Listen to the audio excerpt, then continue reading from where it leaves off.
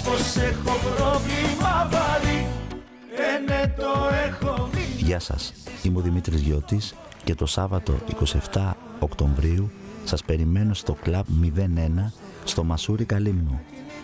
Η βραδιά μας θα είναι αξέχαστη. Μ' αγάπησες λίγο κι εσύ. Γυρνά ένα λεπτό μια στιγμή. Αν μ' αγάπησες λίγο Ο φακός του Κάλυμνος News μέσα Οκτώβρη βρίσκεται στο καταπληκτικό κολυβητήριο του νησιού μας. Ο Πρωτέας προπονείται, εξακολουθεί να προπονείται, αλλά εγώ ήρθα για άλλο λόγο. Ψάχνω να βρω τον προπονητή του Πρωτέα, τον ο, καθηγητή φυσικής αγωγής, τον Μιχάλη τον Γλινάτση. Κάπου εδώ θα είναι.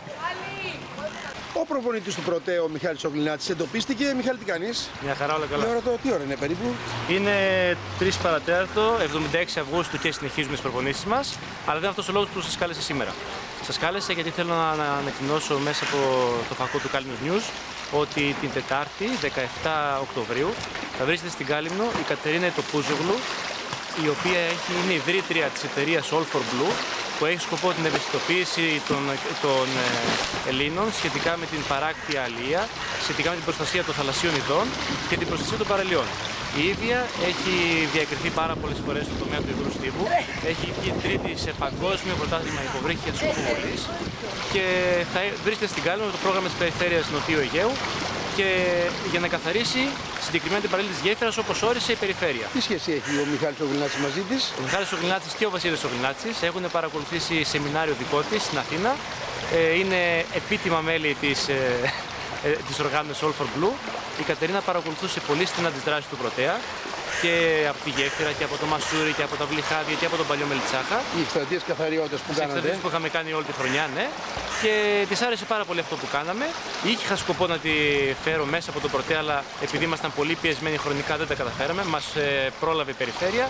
Ε, δεν μπορώ να μιλήσω εκ μέρους ΔΣ, αλλά θα κάνουμε οτιδήποτε είναι δυνατό για να μας ξαναέρθει για να κάνουμε μια δράση Πολύ, μεγάλη- ωραία. πολύ Πολύ ωραία. μεγαλύτερη διάρκεια. Και όταν θα έρθει θα επικοινωνήσουμε, Βεβαίως. να μιλήσουμε μαζί της. Πες μου τώρα κάτι. Ναι. Ε, είμαστε στα μέσα του μέσα Αυγούστου.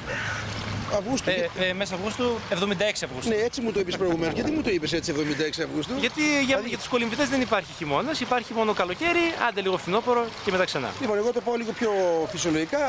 ε, 15 περίπου έχουμε. 15 Οκτωβρίου, 15 ναι. Οκτωβρίου.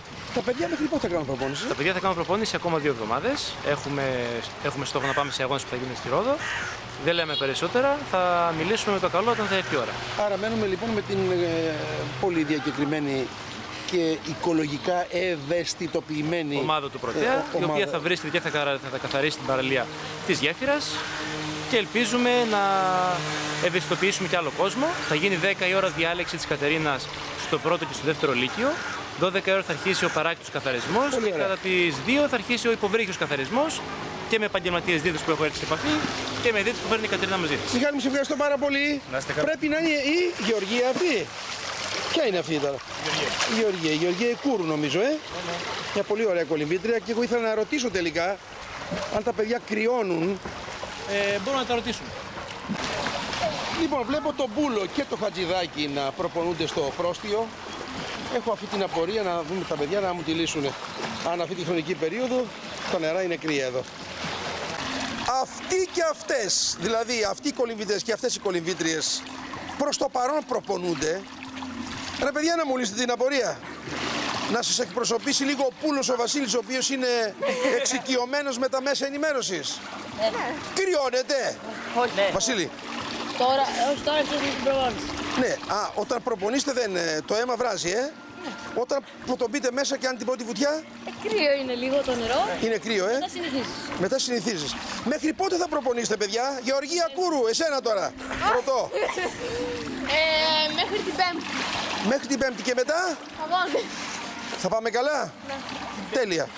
Τώρα να μου κάνετε, Αισιόδοξη. να μου κάνετε ένα 25 περίπου έτσι ελεύθερο να σας δω. Σε τι κατάσταση είστε; Γιατί δεν βλέπω να είστε, ναι δεν σας βλέπω. Για να δω και να σας σχολιάσω. Πάμε. Λοιπόν, εκ πρώτης όψεως μου φαίνονται... Ω, ω, ω, ω, ω, ω, πω, πω. Καλά μου φαίνεται η ομάδα τώρα είναι ωραίοι, ωραίοι, ωραίοι, ωραίοι, ωραίοι. Λοιπόν, Η πρώτη μου διαπίστωση.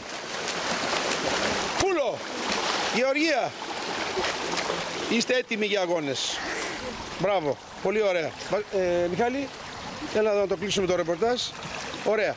Βλέπω τεράστια διαφορά στα παιδιά. Και στην τεχνική Και στη δύναμη. και στη δύναμη. Έλα, κλείσει το ρεπορτάζ. Ε, τι να πούμε, να πούμε καλή επιτυχία, καλή συνέχεια. Πρώτη χρονιά προπονείται σύλλογος μετά τις 5 Σεπτεμβρίου. Θα το τραβήξουμε όσο αντέχουν τα παιδιά, δηλαδή μέχρι τέλος Οκτώβρη. Και βάζουν ένα γερό θεμέλιο για μελλοντικές χρονιές, για πολλές προπονήσεις, οι οποίες δεν θα είναι στο τρίμηνο Ιούνιος, Ιούλιος, Αύγουστο. Πολύ ωραία. Αυτό Πάρα πολύ ωραία. πρέπει να κλείσει. Λοιπόν, παιδιά, σας χαιρετώ. Γεια σας.